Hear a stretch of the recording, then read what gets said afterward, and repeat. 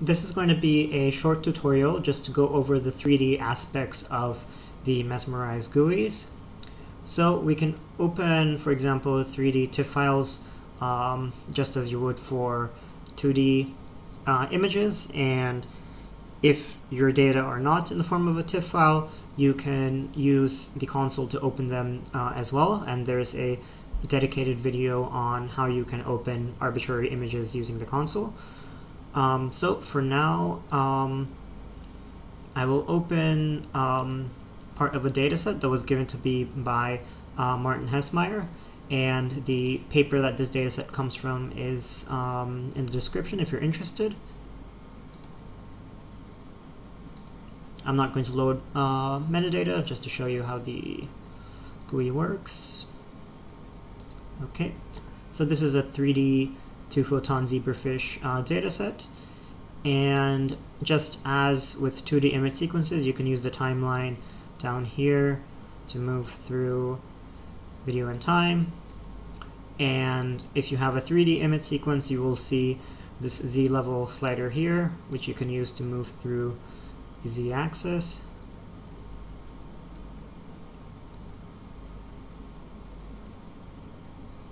And pretty much the rest of what you can do in the viewer is quite uh, identical to what you can do with uh, 2D image sequences. Um, so in order to show you how you can perform uh, 3D CNMF, I will open the demo image from um, the Caiman 3D uh, demo notebook.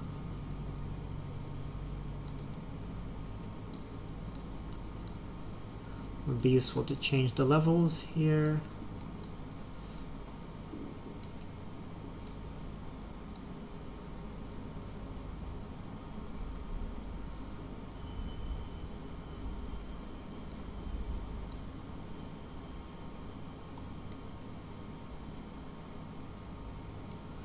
Okay, I'm going to open the same batch that I used for the main tutorial series. And if you do not know how to use the batch manager, you can take a look at um, tutorial part 1 and 2 of the main tutorial playlist.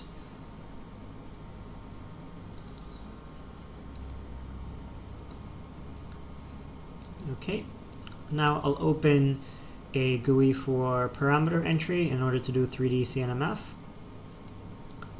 And I highly recommend taking a look at uh, the main uh, Caiman papers and at their documentation and their demo notebooks to better understand how uh, 3D CNMF actually works.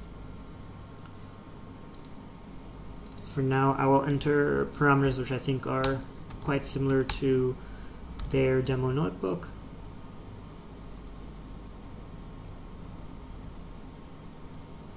And I think that this is meant to have a sampling rate of 10 hertz so I'll just enter that using the console.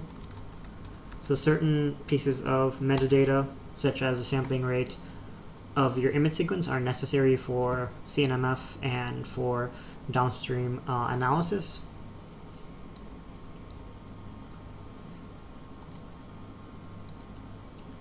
Okay let's add this to the batch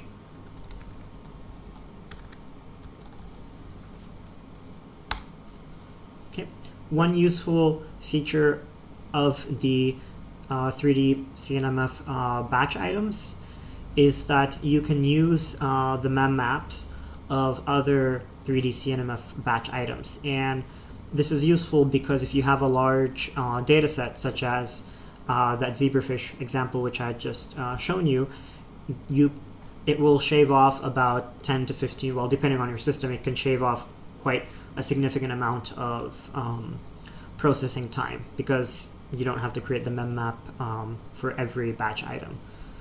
So in order to show you how you can do that, click on the batch item that you are interested in reusing the mem map of, and the UUID will be shown down here. So let's copy that UUID and use that same mem map. So now we can add another CNMF 3D uh, parameter variant using the same emit sequence, and it will use the memmap of the other batch item, which actually uses the same input data.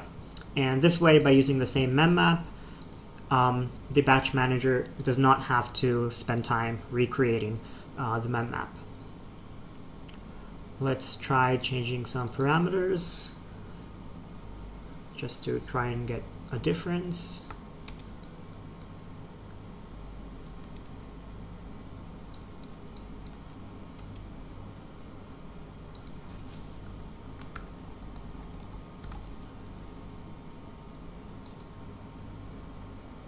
Okay, so if we see from this batch item that we just added, it shows that it is going to use the mem map of this item.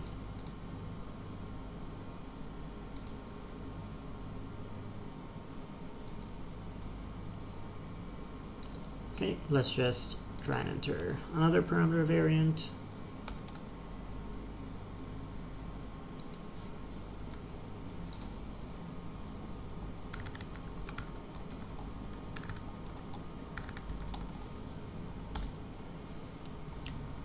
Okay, let's start this batch and it will take a few minutes.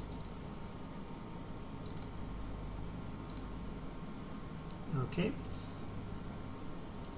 In the meantime, I'll create a project so that I can add the output of one of these uh, batch items to show you how you can use plot and the data point tracer with 3D imaging data, which is mostly the same as it would be with 2D data.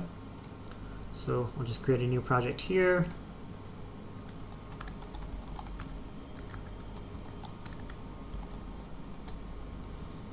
I will not add any ROI stimulus or custom columns, and I explain um, in quite some detail how what these columns are for in the main tutorial uh, playlist. So let's just use this for now. Okay, let's take a look at these batch items.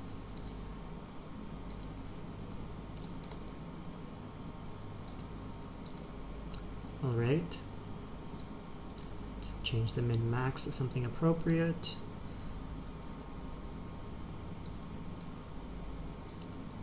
All right. Be useful to have a larger spot size for this actually. So the R the way that the ROI manager works with 3D data is uh, quite similar. The only difference, of course, is that you have this in different planes.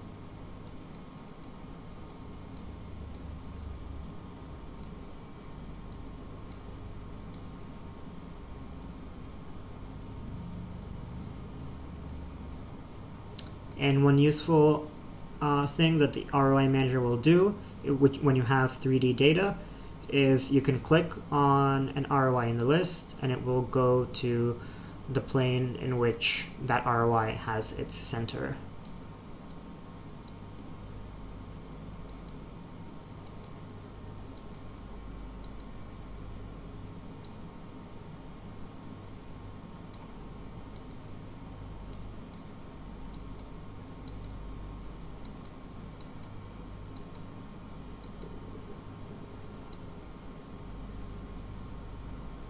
Okay, let's just take a look at the other items.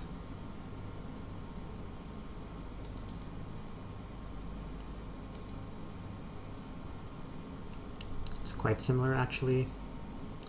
Let's see, what does this one look like? Also very similar. Well, I guess that the number of components found between the three parameter variants isn't too different because this is a simulated uh, data set from um, one of the Caiman demos.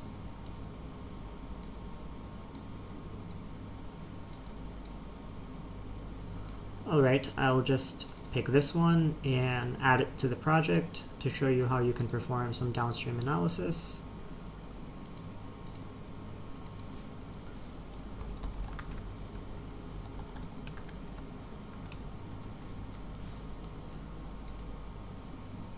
Okay. So now that's been added to the project. And I mean, as is with 2D data, you can reopen uh, samples that are added to your project and re-explore or modify them as you wish. Okay, let's open this in a flowchart. And there, uh, the main tutorial series shows you many examples of how to use the flowchart. For now, let's open the project data frame. And let's just take a look at a heat map.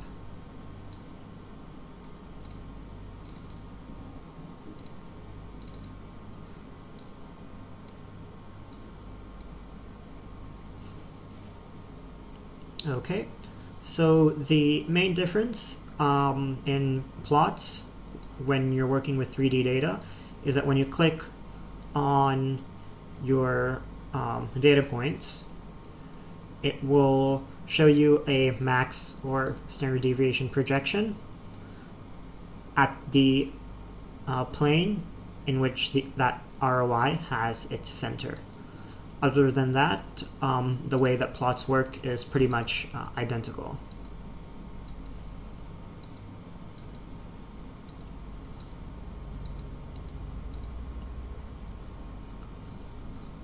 And you can open this in the viewer through here, and you can look at analysis graphs to see the history of the analysis procedure.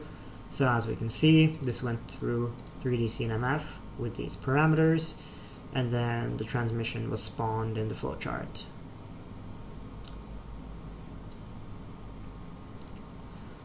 So that, that's basically an overview of how you can uh, work with uh, 3D imaging data. There isn't really too much of a difference with how um, it's handled. Um, it's quite similar to 2D imaging data, and if you're interested in more um, detailed uh, analysis examples with what you can do with Mesmerize, you can take a look at the other tutorials and um, they will apply to 3D data as well.